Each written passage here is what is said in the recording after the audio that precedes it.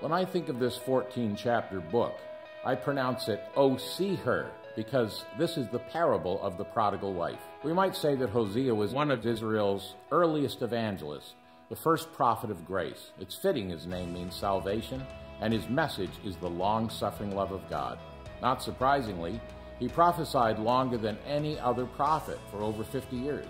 Hosea was a contemporary of Amos in Israel and Micah and Isaiah in Judah.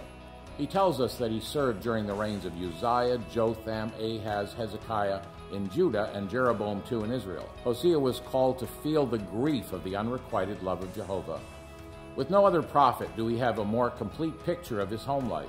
His wife Gomer, whose name ironically means complete, had prostituted her love, whether before or after her marriage were not clear. Hosea was to seek her return, pay for her restoration, and romance her that she might truly love him. It soon becomes clear that Hosea's difficult marriage is a picture of Jehovah's relationship to his wayward people Israel. And the Lord finds in Hosea a man who can, in some measure at least, sympathize with the God of heaven on the sorrow of unreturned love. We Gentiles get into the picture as Peter links Hosea's children with the church age, 1 Peter 2.10.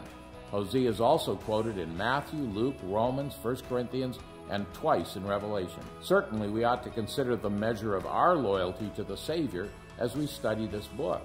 I think of James' stinging rebuke Adulterers and adulteresses, do you not know that friendship with the world is enmity with God? Whoever therefore wants to be a friend of the world makes himself an enemy of God. Surely the one who loved us to death deserves our love in return. There are three divisions in the book. In section 1, chapters 1 to 3, the prophet is portrayed as a sign. Here we're introduced to the prodigal wife and her children. In section 2, chapters 4 to 13, the prophet is called to be a spokesman for God to the prodigal people.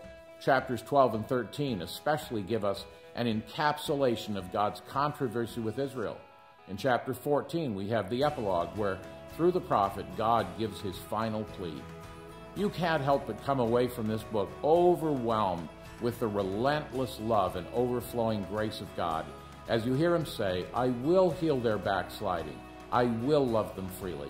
And that's a scripture snapshot of the prophecy of Hosea.